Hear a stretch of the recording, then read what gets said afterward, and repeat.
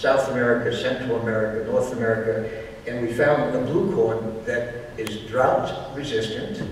And when it's grown in land below a ditch, so the soil is inundated, it has, it grows, Victoria is just over five feet, that's 10 foot tall. corn.